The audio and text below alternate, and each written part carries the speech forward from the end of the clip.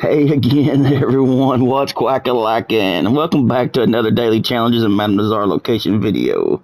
This one is for Sunday, December 19th, 2021.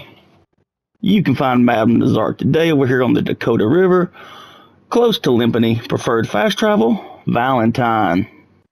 Now on to the daily challenges for today. In the general, we've got three cook season big game, three cups of coffee drunk, one defended campsite, 5,280 feet distance driven A train, five non player enemies killed while in Deadeye, five prairie poppies picked, and three western ravens plucked.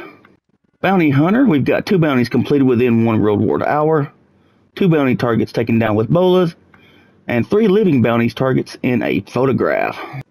Trader, we've got six perfect carcasses donated to Cripps, one resupply completed within five minutes, and two resupply missions completed.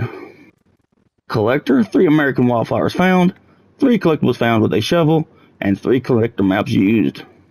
Moonshine, we got the 4,827 feet distance Moonshine wagon traveled on mission, $200 money made from Moonshine sold, and four Moonshine served to other players at a bar. Naturalist, five animal samples taken within 10 minutes, three desert animal samples taken, and one legendary animal is photographed. Now on to the map to show you your locations for today. I've got one location for your prairie poppies, these five markers right outside Blackwater. If this video helped you out in any way, please feel free to leave it a like, subscribe to the channel, and turn on notifications. I really do appreciate all the support. Also, if you have any questions or feedback, please leave a comment in the comment section of the video.